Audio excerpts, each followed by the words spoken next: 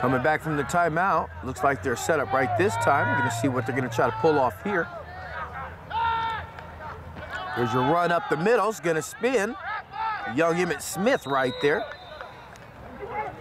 Gonna pick up about six, six yards there, close to a first down. Gonna need about two more yards to pick up that first. They'll try to get it on that next snap.